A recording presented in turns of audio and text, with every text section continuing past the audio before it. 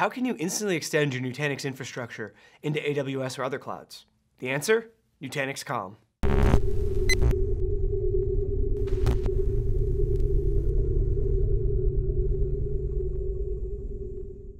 Hello and welcome. My name is Chris Brown and today we're going to be talking about Nutanix Calm and extending it into AWS so you can orchestrate workloads between your on-prem infrastructure and AWS seamlessly.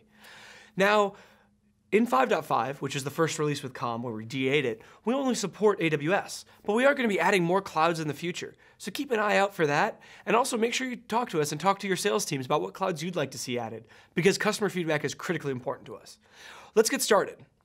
Connecting Calm to a public cloud is easy. Here's how we do it. First, you need to log into Prism Central as an administrator. Then we're going to click on the Apps tab to get over into Calm itself. And then click on Settings. Here, you can see all the cloud accounts you've defined already and add a new one. So I'm going to click Add Setting. And over here, we can now give it a name.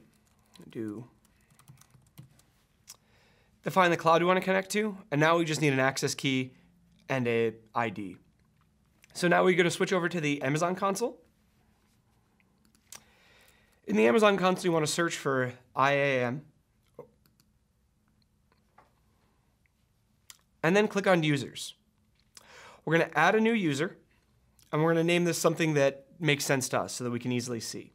So we'll name this Calm IAM user. Now we need to enable programmatic access and then click Next to start assigning permissions. We need to create a specific policy for this. So I'm going to attach policies directly and then hit Create Policy. There are two things that Calm needs. First is it needs IAM administrator access.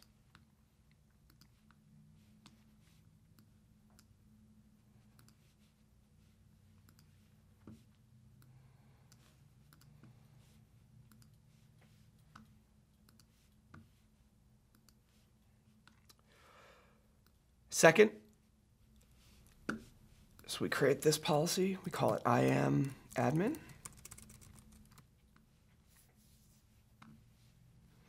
Now that we've created the IAM account, we go back into the policy manager here. We search for the policy we just created. Select that. And the other thing we need to do is give it EC2 uh, full access.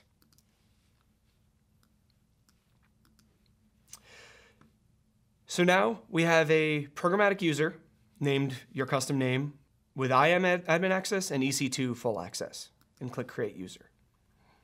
This now gives us an access key ID and an access key secret. I copy this over.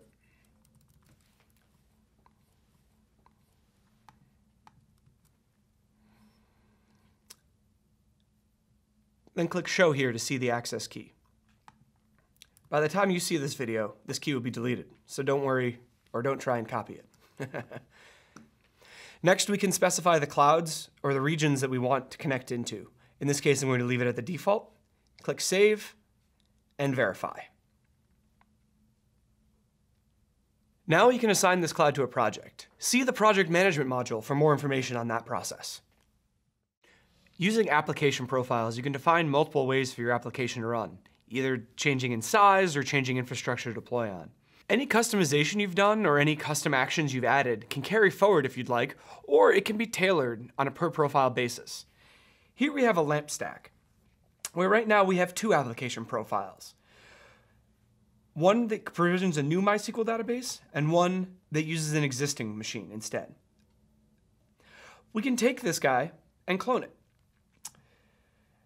You see that our custom actions have carried forward, all of our configuration is the exact same. We can now go in and customize this.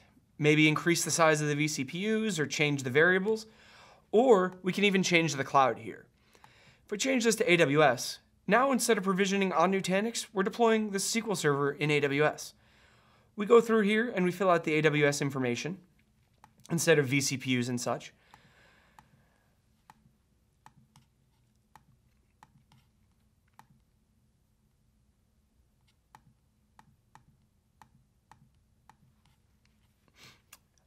Specify down here the security groups to use, what to log in with, and probably a new credential for AWS, a key instead of a password, or a different key. Once we've gone through and fully customized this to our liking, maybe we want to move everything over to AWS,